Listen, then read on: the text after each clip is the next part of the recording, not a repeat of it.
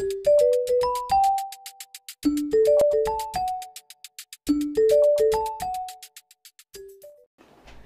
बच्चों, आज आठवीं कक्षा के वसंत पाठ्य पुस्तक से लिया गया बस की यात्रा नामक अध्याय का वाचन करने वाली हूँ। आप भी साथ में ही पढ़िएगा। ओके लेट्स स्टार्ट बस की यात्रा।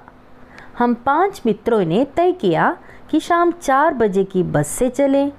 पन्ना से इसी कंपनी की बस सतना के लिए घंटे भर बाद मिलती है, जो जबलपुर की ट्रेन मिला देती है। सुबह घर पहुँच जाएँगे।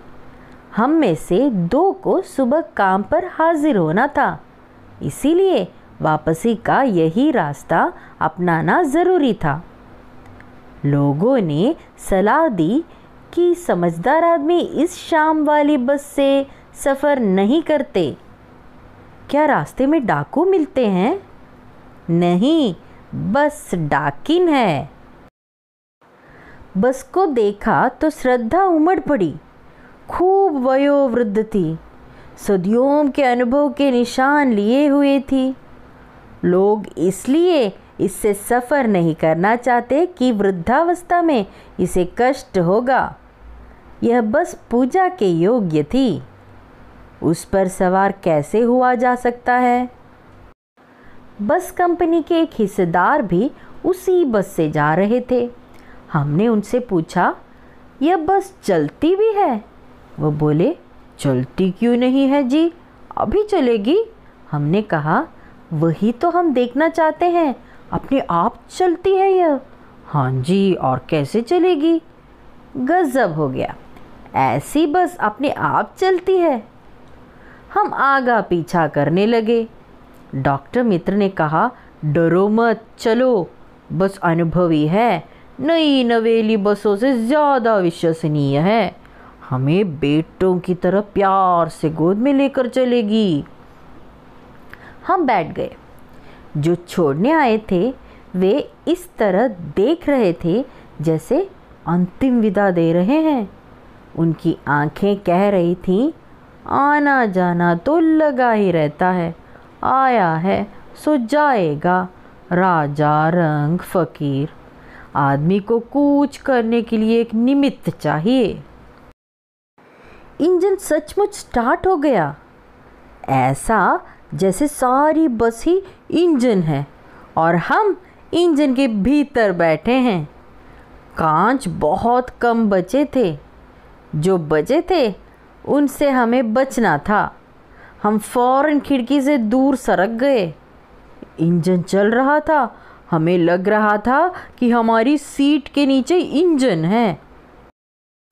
बस सचमुच चल पड़ी और हमें लगा कि यह गांधी जी के असहयोग और सविनय अवज्ञा आंदोलनों के वक्त अवश्य जवान रही होगी।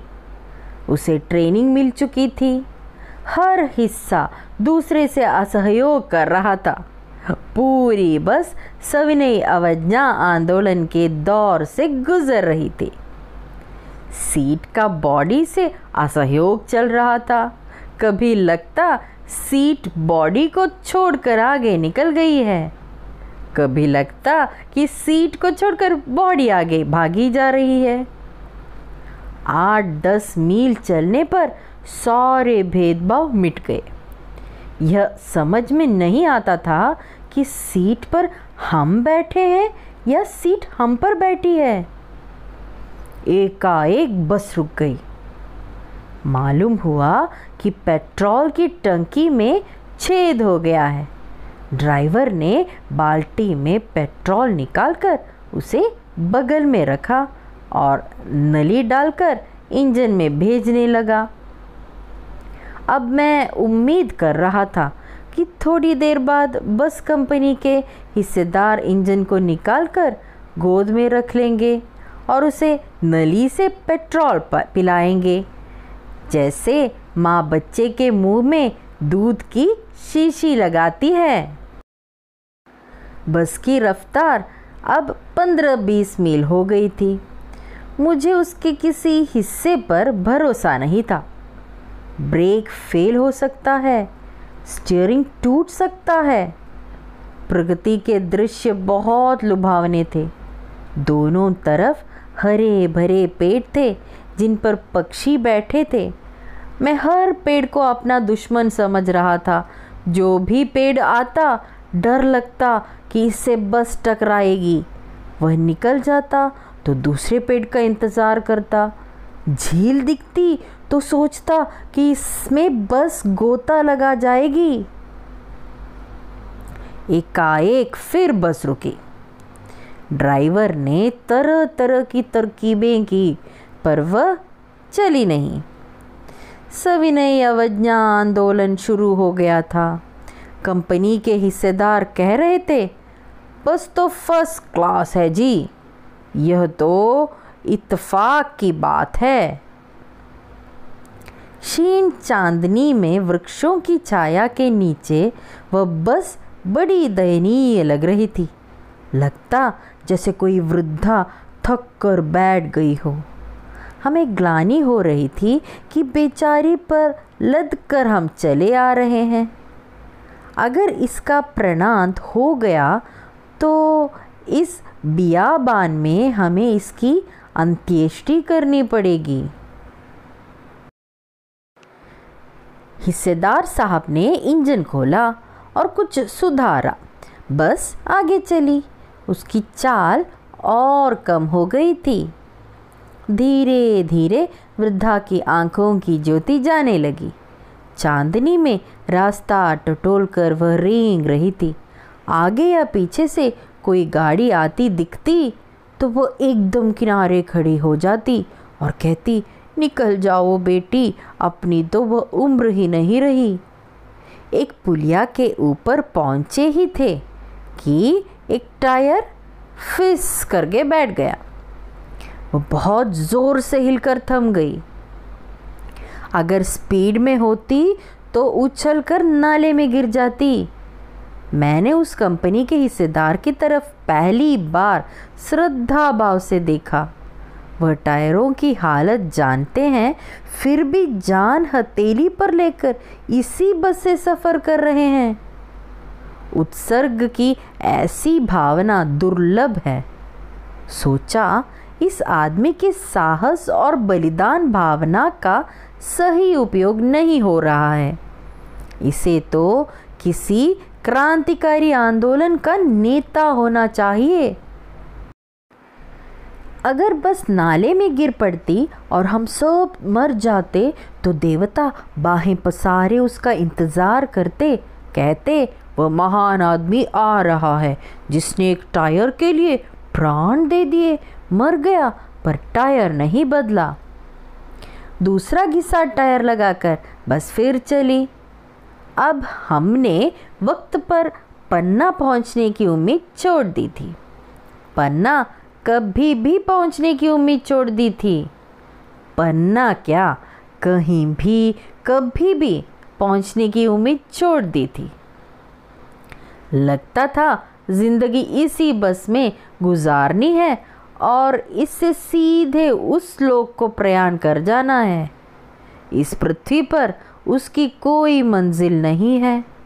हमारी बेताबी, तनाव खत्म हो गया। हम बड़े इत्मीनान से घर की तरफ़ बैठ गए। चिंता जाती रही। हँसी मज़ाक चालू हो गया।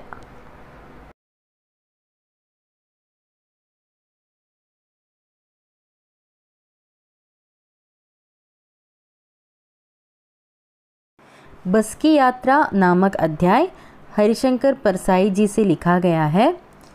वे इस लेख के द्वारा अपने व्यक्तिगत अनुभव का बखान करते हैं जो कि है बस की यात्रा।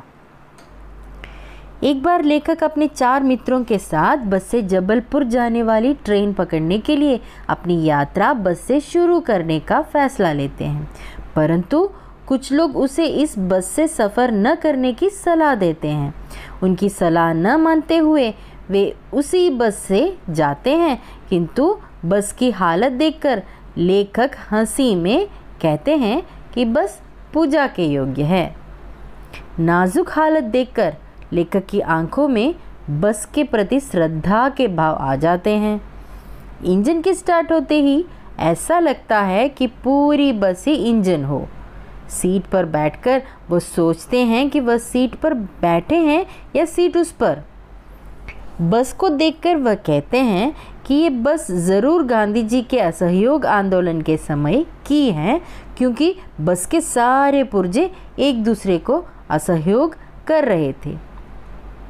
और कुछ समय की यात्रा के बाद बस रुक रुक जाती है और पता चला कि पेट्रोल की टंकी में छेद हो गया है।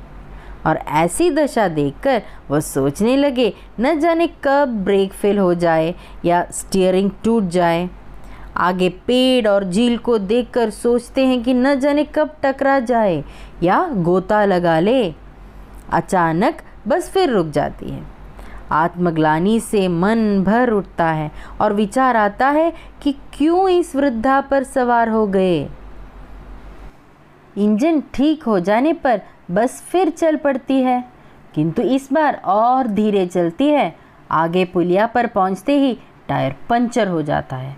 अब तो सब यात्री समय पर पहुँचने की उम्मीद छोड़ ही देते हैं, तथा चिंता मुक्त होने के लिए हँसी मज़ा करने लगते हैं। अंत में लेखक डर का त्याग कर आनंद उठाने का प्रयास करते हैं तथा स्वयं को उस बस का एक हिस्सा स्वीकार कर सारे भय मन से निकाल देते हैं। हरिशंकर परसाई जी से लिखा गया यह पाठ बस की यात्रा एक व्यंग्यात्मक यात्रा वृत्तांत है जिसमें लेखक ने उन प्राइवेट बस कंपनियों पर व्यंग्य किया है। जो ज़्यादा मुनाफे के लिए यात्रियों की जान माल के साथ खिलवाड़ करते हैं।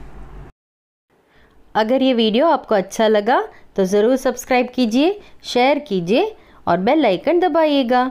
अभी अगली वीडियो में मिलते हैं। Thank you.